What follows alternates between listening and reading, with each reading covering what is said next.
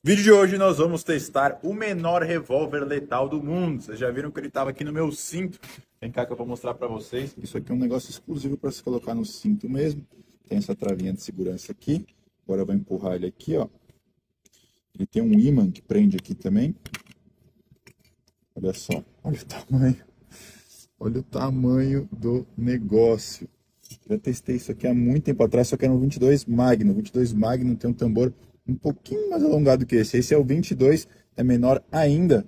Vamos vir aqui na luz, mostrar para vocês agora aqui, carregando o mini note, como é que funciona. Ele tem aqui, ó, esse pininho que eu vou pressionar, puxar isso aqui para trás.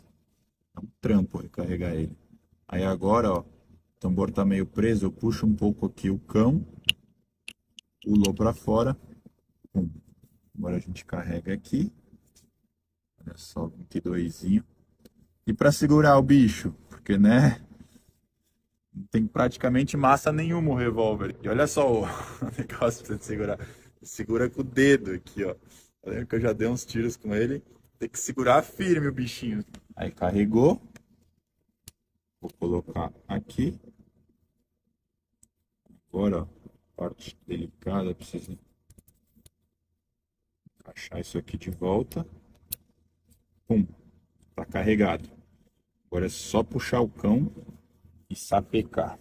Menor revólver letal do mundo. Vou pegar o abafador ali. Tem uns alvos ali.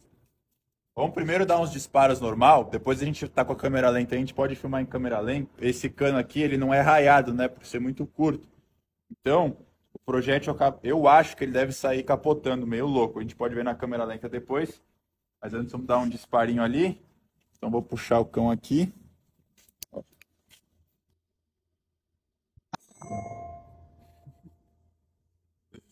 Da hora. Mais um disparinho.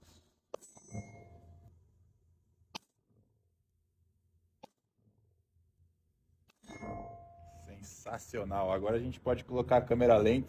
Quero ver se a gente consegue pegar uma imagem da trajetória do projétil para a gente ver como é que ele sai. Bom, posicionamos a câmera lenta 6 mil frames por segundo. Está focado aqui na frente, né? O revólver está desfocado, porque a gente quer justamente ver a trajetória do projétil. Quadrado. Quadrado.